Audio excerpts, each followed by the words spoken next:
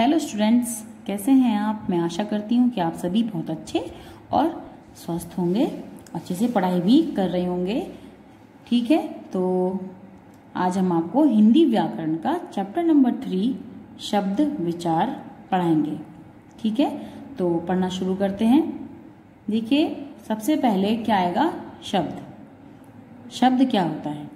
भाषा में शब्द का सर्वाधिक महत्वपूर्ण स्थान है। वास्तव में भाषा का आधार शब्द ही है। शब्दों से वाक्य बनते हैं और वाक्यों से भाषा बनती है। लेकिन भाषा बनने से पहले सबसे छोटी इकाई जो होती है, वो होती है शब्द। किसी भी शब्द का सही होना ही सही भाषा बनाती है। ठीक है? शब्द वर्णों से बनते हैं, लेकिन वर्णों के प्रत्येक समूह को शब्द नहीं कह सकते। क्यों नहीं कह सकते? उनका सार्थक मेल ही उन्हें शब्द बनाता है। निरर्थक समूह शब्द नहीं कहा जा सकता। जैसे अगर मैं बोलने लगूं, जैसे हाथी होता है, हाथी तो पहले हा होता है, फिर थी होता है। तो अगर हम पहले थी और हा लिख देंगे तो वह निरर्थक शब्द बन जाएगा। उसका कोई भी अर्थ नहीं होगा। इसीलिए वर्ण का सार्थक मेल ही शब्द कहलाता है। ठीक है बच्चों? फिर उसके बाद आता है आपका पद। शब्द जब वाक्य में प्रयोग होता है तो उसे पद कहते हैं। तब उसके रूप में परिवर्तन हो सकता है। देखिए कैसे, जैसे शब्द है हमारा बालक तो जब हम उसे वाक्य में प्रयोग करेंगे, तब पद बनता है तो उसका रूप बदल जाता है। जैसे कि है, शब्द तो बालक होता है। अगर हम बोले कि बालकों ने खाना खाया तो देखिए, बालक शब्द में परिवर्तन हो गया। यही परिवर्तन कहलाता है। वह वह को उसने खाना खाया, वह खाना खाता है, उसे भूख लगी है। तो जो भी है, ये परिवर्तन करने के बाद पद में प्रयोग होते हैं, वाक्य में प्रयोग होते हैं। ठीक है? काला काला, काली, काले। पढ़, पढ़ता, पढ़ती, पढ़ते, पढ़ेगा, पढ़ेंगी, पढ़ेंगे और पढ़ेंगी। तो ये होते हैं पद में, जब प्रयोग होते हैं शब्द तो परिवर्तन हो जाते हैं। ठीक है? अब आता है आपका शब्द भंडार। किसी भाषा में जितने शब्द प्रयोग किए जाते हैं, उन सब के समूह को उस भाषा का शब्द भंडार कहते हैं। यानी कि जितने भी हम शब्द प्रयोग करते हैं, हिंदी के या इंग्लिश के, जो भी करते हैं, उन सब का समूह ही शब्द भंडार कहलाता है। ठीक है बच्चों? हिंदी की गणना संसार की समृद्ध भाषाओं में की जाती है। जो दिन प्रतिदिन विकास के नए सोपान छू रही, यानी कि नए ऊंचाइयाँ छू रही है। इसलिए हिंदी के शब्द भंडार में लगातार वृद्धि हो रही है। इसमें नए नए शब्द रोज जुड़ रहे हैं, है ना? जुड़ते जा रहे हैं तो इससे ये, इसका विस्तार हो रहा है। फिर आता है बच्चों, भाषा के भेद।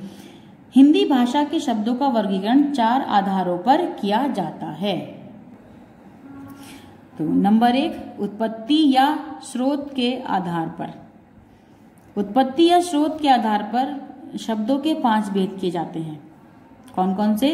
नंबर एक, तत्सम, तद्भव, देशज, विदेशी और संकर। ठीक है? देखिए, तत्सम शब्द कौन से होते हैं?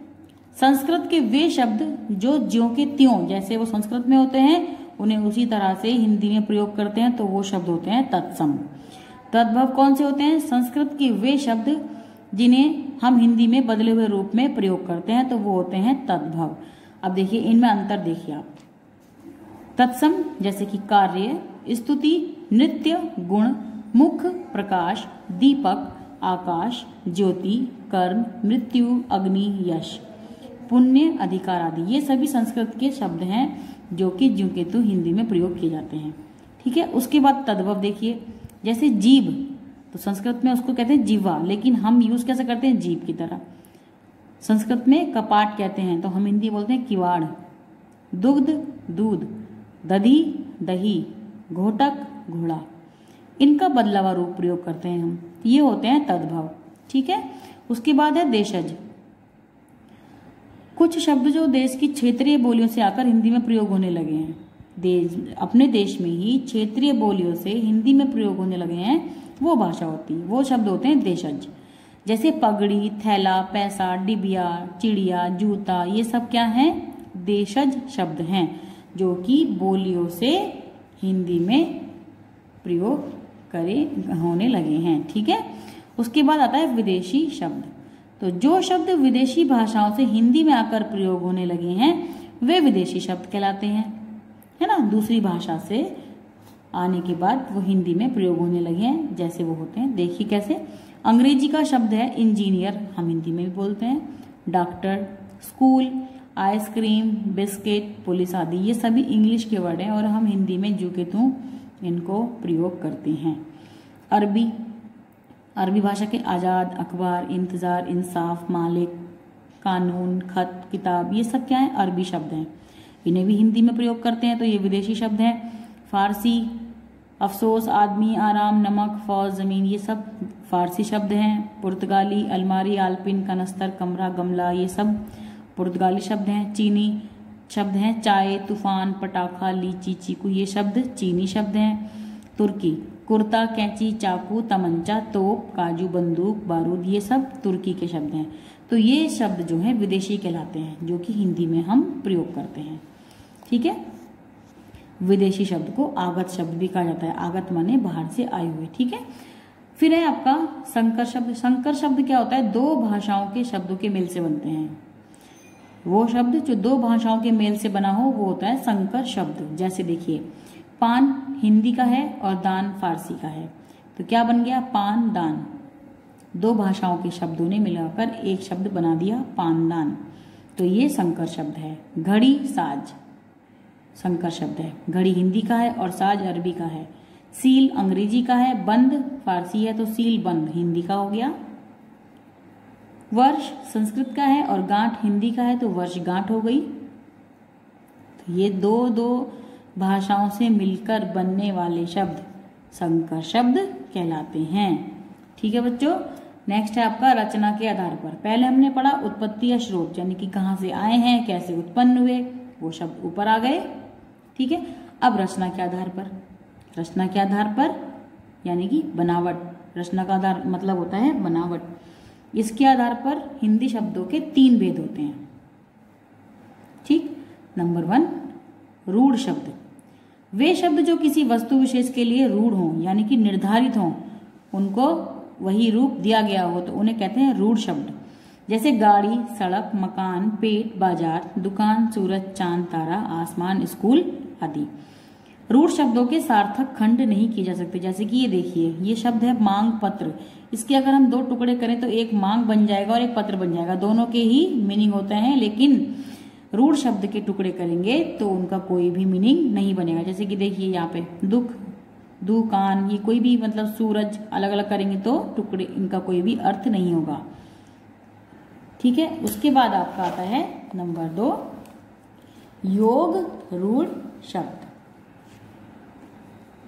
जो शब्द दो या दो दो या अधिक शब्दों से मिलके बनते हैं, ठीक है? जैसे जलज। समझ नहीं आया होगा, दोबारा बताती हूँ। जो शब्द दो या अधिक शब्दों के मेल से बनते हैं, दो या दो से अधिक मेल से वो और उनका किसी, कोई ना कोई विशेष अर्थ में प्रयोग किए जाते हैं। वो होते हैं योग, रूढ़ शब्द, जैसे जलज। ठीक है? जल में जन्म लेने वाला मछली के लिए रूढ़ है। जलज है। गजानन। गज अर्थात हाथी जैसे आनन वाला। ठीक? गजानन।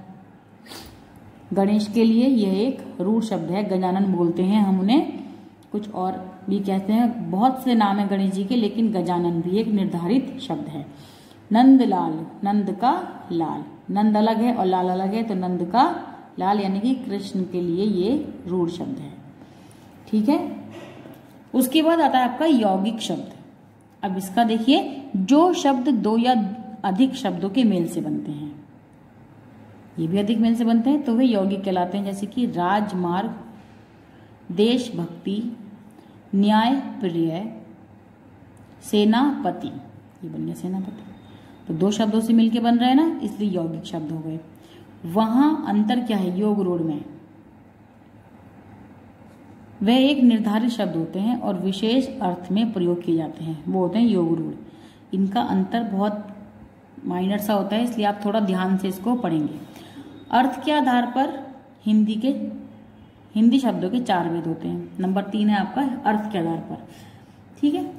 एक अर्थी अनेकार्थी पर्यायवाची और विलोम शब्द। ये हो गए आपके अर्थ के आधार पर। एक अर्थी मतलब जिन शब्दों का केवल एक ही अर्थ होता है।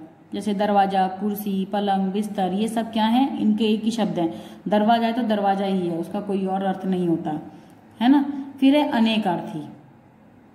जिन शब्दों के एक से अधिक अर्थ होते हैं, शब्द एक ही होगा, लेकिन उनके अर्थ बहुत सारे होंगे। जैसे अंबर। अंबर का मतलब आकाश भी होता है, अंबर को वस्त्र भी कहते हैं, ठीक है? अंक मान संख्या भी है, गोद है, और नाटक का एक भाग भी है, कहते ना? नाटक किसी भी नाटक का जे एक अंक आया, यानी कि एक एपिसोड जो होता है ना, वो अंक होता है, एक भाग होता है। कर। कर का मतलब हाथ भी होता है टैक्स, किरण और सूंड, ये सब कर का मीनिंग होते हैं। कल, यानी कि चैन, मशीन, आने वाला या बीता हुआ दिन, इसके भी कई मीनिंग होते हैं, कई अर्थ होते हैं। तो ये अनेकार्थी शब्द हो गए। फिर है पर्यायवाची। पर्यायवाची शब्द बच्चों वो होते हैं जिनके शब्द बहुत सारे हों, लेकिन अर्थ एक ही होता है। देखो कैसे? कमल, अंबुज, जलज, पंकज, नीरज, राजीव। ये शब्द तो बहुत सारे हैं, लेकिन इनका मीनिंग एक ही है, यानी कि कमल, यानी कि लोटस लोटस के इतने सारे नाम हैं। फिर है चाँद. चाँद के भी बहुत सारे नाम हैं, यानी कि चाँद के इतने सारे शब्द हैं, जिनका अर्थ सिर्फ़ चाँद होता है. चंद्रमा, इंदु, सोम रजनीश, निशाकर और शशि. ये सब क्या है? चाँद है इनका मीनिंग फिर है आपका पहाड़. पहाड़ के भी देखो, इतने सारे शब्द प्रयोग होते हैं, लेकिन मतलब क्या है? एक ही है, पहाड़. अचल, गिरी, नग, पर्वत, शैल. तो जब अलग अलग शब्दों के एक ही अर्थ हो तो वह पर्यावाची शब्द। जब एक ही शब्द के बहुत सारे अर्थ हों तो वह अनेकार्थी शब्द। ठीक है? एक अर्थी यानी कि इनका एक ही अर्थ होता है। फिर आता है आपका विलोम शब्द। ठीक है? जो शब्द एक दूसरे का विपरीत अर्थ देते हैं, यानी कि उल्टा अर्थ देते हैं, वो होते हैं विलोम शब्द। जैसे उन्नति का अवनति, उत्तर का दक्षिण, पवित्र का अपवित्र अच्छा बुरा, यश, अपयश, गुण और अवगुण। ठीक है? यानी कि विलोम शब्द, यानी कि उल्टे अर्थ वाले। है ना? तो ये आपके हो गए नंबर तीन अर्थ के आधार पर। फिर आता है आपका नंबर फोर, यानी कि प्रयोग के आधार पर। अब प्रयोग के आधार पर शब्दों के दो भेद होते हैं। है ना? किस तरह से शब्द को प्रयोग करते हैं, वो उनके होते हैं दो अर्थ। तो देखिए, विकारी शब्द। वाक्य में प्रयोग होने पर जिन शब्दों के रूप में विकार, यानी कि परिवर्तन आ जाता है, उन्हें विकारी शब्द कहते हैं। जैसे बच्चा, बच्चे, बच्चों, बच्ची, बच्चियाँ, बच्चियों। एक शब्द है बच्चा। उसको इतने सारे परिवर्तन करके इतनी जगह पर अलग अलग तरह से यूज़ किया जाता है, प्रयोग किया जाता है तो ये विकारी शब्द है। फिर है मैं, जैसे कि मैं। मैंने मुझे, मुझको, मुझसे मेरा, मेरी, मेरे। ये भी विकार हो गया, यानी कि परिवर्तन हो गया। फिर है लिखना। लिखता, लिखती, लिखेगा, लिखेगी, लिखेंगे लिखेंगे और लिखोगे, लिखूँगा। तो ये भी आपके क्या हो गए बच्चों? परिवर्तन वाले शब्द हो गए तो ये विकारी शब्द हैं। संज्ञा, सर्वनाम, विशेषण और क्रिया। देखिए, संज्ञा, मैं, मैंने, मुझको, ये सब संज्ञा है। तो इनमें परिवर्तन हो गया। सर्वनाम। संज्ञा ये हो गए बच्चा बच्चे बच्ची ये सब संज्ञा है। ये हो गए सर्वनाम। ये हो गए आपके क्रिया। विशेषण भी होते हैं जैसे सुंदर तो सुन, सुंदरी ये ऐसे बोल देते हैं ना। तो ये शब्द क्या होते हैं? विकारी होते हैं इनमें परिवर्तन हो जाता है। फिर है आपका अविकारी शब्द। वाक्य में प्रयोग होने पर जिन शब्दों के रूप में विकार उत्पन्न नहीं होता, यानी कि उनमें कोई भी परिवर्तन नहीं होता, उन्हें अविकारी शब्द कहते हैं। जैसे, यहाँ वहाँ, अब यहाँ तो यहाँ ही रहेगा, है ना? वहाँ, अब, जब, तब, क्यों, क्या, कैसे, निपट, पास, दूर, में, ये सब जो भी वर्ड हैं, जो भी शब्द हैं, इनके प्रयोग करते समय, इनको प्रयोग करते समय इनमें कोई भी परिवर्तन नहीं होता, इसलिए होते हैं अविकारी शब्द। ठीक है? तो ये कौन कौन से होते हैं? क्रिया विशेषण संबंध बोधक समुच्चय बोधक और विस्मय आदि बोधक ये सभी अविकारी शब्द होते हैं। ठीक है? अब देखिए बच्चों, नीचे है, आओ दोहराएँ। तो यहाँ एक बॉक्स है। इसमें इस चैप्टर के इंपॉर्टेंट पॉइंट हैं। ठीक है? आप इनको अच्छे से पढ़ेंगे लर्न करेंगे। ठीक है? इसी तरह से आपको अपनी बुक में पढ़ना है। बच्चों, देखो, आपको बुक पढ़ना बहुत ज़रूरी है। जब तक आप बुक नहीं पढ़ेंगे, आप इसकी कोई भी एक्सरसाइज फील नहीं कर सकते। आपको कुछ भी समझ में नहीं आएगा। ठीक है? और शब्दों को बोल के ज़रूर देखा करो। कौन सा शब्द कैसे बोल रहा है? किस तरह से प्रयोग हो रहा है? वो आपको ज़रूर होना चाहिए। ठीक है? तो मैं आशा करती हूँ आपको ये चैप्टर अच्छे से समझ में आया होगा और अपनी कॉपी में इसका आप वर्क भी अच्छे अच्छे करेंगे। ठीक है बच्चों? Okay bye